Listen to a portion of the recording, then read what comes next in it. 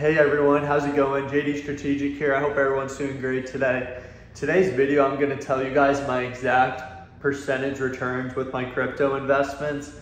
I think it's one thing to talk about crypto when prices are going up on a daily basis. Prices are out of this world, which is what we've seen kind of over the last year or two. Crypto prices have just been pretty crazy. And now we're starting to see prices crash. For the most part, they're going down at a pretty significant rate and everyone's kind of starting to talk about it. The people that are like anti-crypto, um, they, they think this is pretty funny. They're just like, I hope you guys took your money out of Bitcoin. Um, they're gonna lose all their money. So I would just want to make a video where I'm gonna talk about my exact percentage returns and just a little bit about, because there is this just constant theme of the psychology of the stock market. So it's really easy to talk about crypto when prices are going up um, when Bitcoin prices are at 60K, when Ethereum prices are at 4K, there's a line at the wall for people to buy, buy, buy. Everyone wants it. But now that prices, Bitcoin just dropped below 20K, Ethereum actually dropped below 1K, and people are scared to invest their money. So it really is just a constant psychology. Um, so I think that's pretty interesting. It's really just like stocks, but crypto is just a much more significant basis where prices can drop way more significantly and they can also rise way more significantly. So it's just a matter of kind of picking and choosing. So I find that pretty interesting. So I'm going to tell you guys my exact percentage returns in a bit. Um, but I just found this statistics pretty interesting. As and this is from a month ago, so it's definitely a lot lower now. But 40% of Bitcoin investors were underwater as of May, and prices have dropped way more significantly since then. So my guess would be that number is maybe closer to 75%, if not greater. Um, so significant people are underwater now. So this is really where the psychology steps in um, and see how people react when they're losing money rather than gaining money. Because it's easy to want to invest your money when you see that money constantly going up. But when your portfolio is down, especially a significant amount, it's interesting to see how people react in that scenario. But overall, it's really important to not overreact. Because when you overreact in the short term, that really is when you start to put yourself in a financial hardship position. So it really does go back to crafting this long-term investment strategy so that when you sit down and you have this long-term investment strategy, when the short term hits, like right now and prices are going down in stocks and crypto, you're not selling these assets um, because you already had that long-term plan. You're investing in businesses and companies that you're confident in. You're investing in just the US market, which you're confident in. So you're not investing in stuff that you're not comfortable with. So you feel so when the short term happens, you honestly see this as a good opportunity to just buy more because you have that long-term investment plan. So that's pretty interesting. And now that we're seeing crypto prices drop, this isn't something that's that unusual. Back in 2018, Bitcoin was at a career high of 20,000, which was unheard of then. And then just in 2018, it dropped all the way down to 3,000. And it's weird because once it hit that 8,000 mark, people just stopped talking about it. And then it kept going down, it kept going down.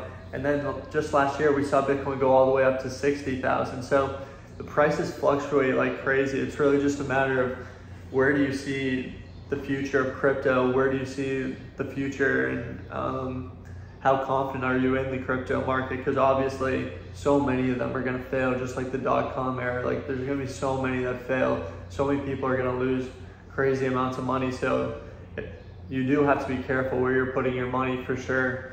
Um, but now I'm going to tell you my exact percentage returns with my crypto investments, and that's a negative 54%. So, this is really just the psychology of the stock market. I'm down 54%.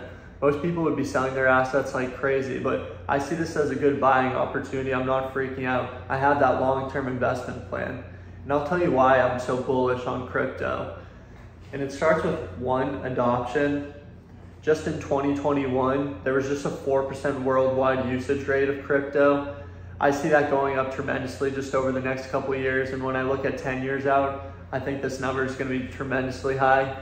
And it's not a matter of like um, people in America really adopting it as well. Like we have banks that we can rely on despite the 08 09 crisis. Um, there have been more reliable mortgages. They're not lending those crazy amounts. So we have like a good system in place in the US. But in other like countries where they don't have access to generating wealth, it does make a lot more sense for people like that to adopt crypto. So this 4% number, I see that only going up over time. And number two is utility. Bitcoin has the utility where it's person to person transaction. You don't need that middleman. And that utility alone goes a long way. Like there's always going to be some sort of value for it. People are always going to be using it. So that alone, in my opinion, it would never hit zero. It can definitely go down to who knows, like a hundred dollars. But overall, I had that long-term vision, so I'm not too worried about the short term. And three is just this constant theme of the volatility. Yes, it's volatile, but overall it just keeps going up. So it's just like, how are you reacting in that short term? Um, just in the last 17 hours, Ethereum's up 15%. So if you react in that short term and you sell your assets, you're gonna miss those big gains. So if you have that long-term vision, you have to stick with that vision. Um, so if we, this just really goes back to adoption, utility, volatility. I think these are my three reasons why I'm so bullish on crypto, despite my portfolio being down 54% right now. I'm not overreacting. I'm not selling my assets. And this is because I'm confident on the future of crypto. And I'm not investing in all these meme coins and stuff. I'm investing in ones that I'm confident in, confident in, ones that actually have utility, ones that have value. So that's my reasoning behind it. Um, I thought this video would be really fun to make. Just talking about I'm getting destroyed in the crypto market, but I have a smile on my face. I'm not worried. I have that long-term view.